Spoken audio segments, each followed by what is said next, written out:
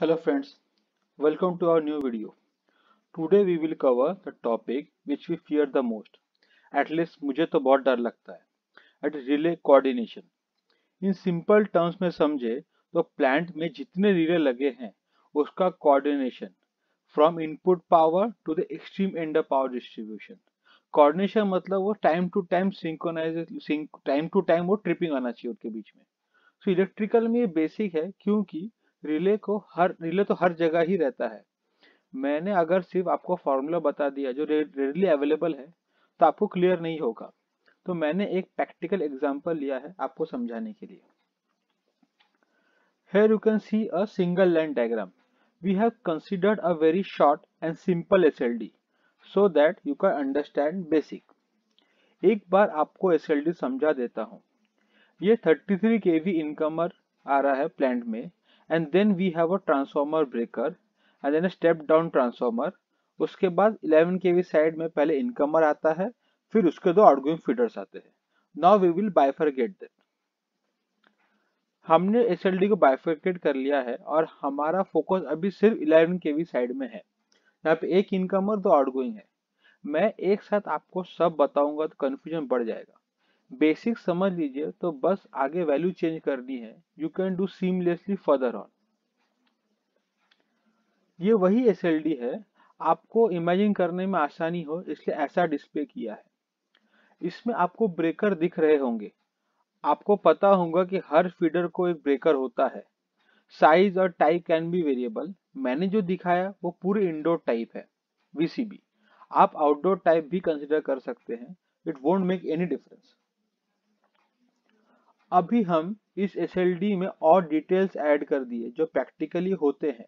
जैसे कि current transformer specification relay के टाइप्स एंड सेटिंग्स हमने जो रिले सिलेक्ट किए हैं वो है आईडीएमटी टाइप रिले के टाइप्स अगर समझना है तो एक सेपरेट वीडियो बनाना पड़ेगा।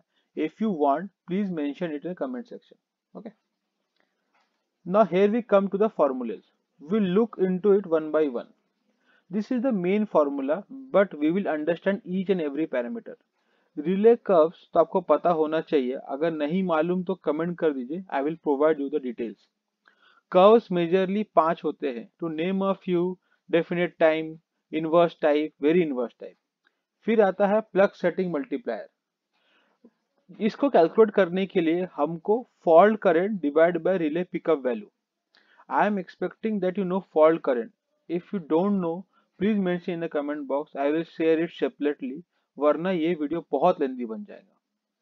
नाउ पिकअप वैल्यू निकालने के लिए हमें current transformer connected ratio multiplied by relay pickup setting जो कि परसेंटेज में रहती है, वो मल्टीप्लाई करना है। करंट ट्रांसफ़र कनेक्टेड रेशियो और करंट ट्रांसफॉर्मर में फ़र्क है। करंट ट्रांसफॉर्मर दो हो सकते हैं 800 400 पर हम किस रेशियो में रख रहे हैं उसको सेटिंग में? 400 800 वो है current transformer select connected ratio थोड़ा ध्यान रखिएगा।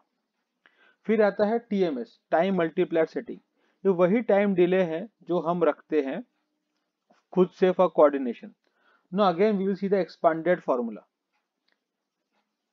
Now taking example of 11 kV incomer. These are available details या हमें सेट करना रहता है जैसे कि CTR current transformer connected CTR जो मैं थोड़ी देर पहले बताया आपको। 800 400 की CT है पर हमने इसको कनेक्टेड CTR सिलेक्ट किया है, वो 800 का किया है। इट डिपेंड्स ऑन अस फिर है पिकअप परसेंटेज जो रिले में सेट होता है। फिर है टीएमएस टाइम जो हमें सेट करना है। फिर curve fault current recorded Now let's find out the pickup current. And for that, multiply CTR ampere with pickup percentage जो कि हमारा है 70 और 70 by 100 eight point seven so pickup आ गया हमारा 560 ampere Now PSM fault PSM fault current है 3660 ampere and pickup हमारा आया 560 एम्पियर तो PSM is 6.53 point five three to find out to log of P S M with base of ten that is log of six point five three with base of ten please make sure that it is log not log to the base of ten not L N log तो हमारा value I point eight one now find out tripping time which is curve selected as 3 second curve very inverse curve divided by pspm plug setting multiplier that is 0.81 multiplied by TMS which we have set. So tripping time comes out to be 0.314 seconds. So please pause the video and do it yourself for practice. Now similarly find out the for 11 kV outgoing feeder 1. CTR, pickup, TMS, fault current is different, rest process is the same. To the same we found out the pickup is 360 ampere and plug setting multiplier is 9.4. So tripping time comes out to be 0.216 seconds. Same for 11 kV outgoing feeder 2. Here you can see curve selector is different. You can select yours as per your site requirement. So tripping time here comes out to be the same formula 0.098 seconds. अभी ये निकलने के बाद हमने इसको summation में डाला है। ना यू हेयर कम समेशन अभी कोऑर्डिनेशन के लिए हमें देखना है कि हमारे इनकमर ब्रेकर की टाइमिंग आउटगोइंग ब्रेकर से ज़्यादा हो। कितना ज़्यादा हो? एटलीस्ट 100 मिली सेकेंड अब 100 मिली सेकेंड ही क्यों? 100 मिली सेकेंड इसीलिए क्योंकि उसी टाइम में रिले का कॉन्टैक्ट पिकअप होना है। मास्टर ट्रिप के एक्चुएट होना है, उसके बाद ब्रेकर के कॉल के एनर्जाइज करना है, ब्रेकर के कॉन्टैक्ट को ओपन करना है, ये लगभग पूरा साइकिल 100 मिली सेकेंड लग ही जाते हैं। फाइव परसेंट ऊपर नीचे depends on type of breaker you have relays you have ठीक है? तो हमारे में जो गैप आया है इनकमिंग एंड आउटगोइंग में, वो इज़ अराउंड 100 मिली सेकेंड्स 98 आया है और 220 आया है। 98 इज़ एक्सेप्टेबल अब हम अभी अपने प्लान के हिसाब से एक लेवल ऊपर भी जा सकते हैं। You can self try for thirty three K V incomer similar way if you have doubt in thirty three K V you can mention in the comment section I will definitely revert back to you